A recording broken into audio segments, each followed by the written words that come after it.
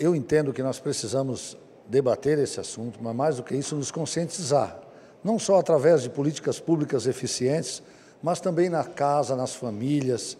É uma questão de caráter, de respeito, de sentimento. Né? É, é uma violência totalmente desnecessária. Nós precisamos agregar, fazer com que as pessoas se respeitem nas suas diferenças. Afinal, é nas diferenças que nós crescemos como seres humanos. E eu também me sinto agredido quando eu escuto ou fico sabendo de uma notícia de violência contra as mulheres.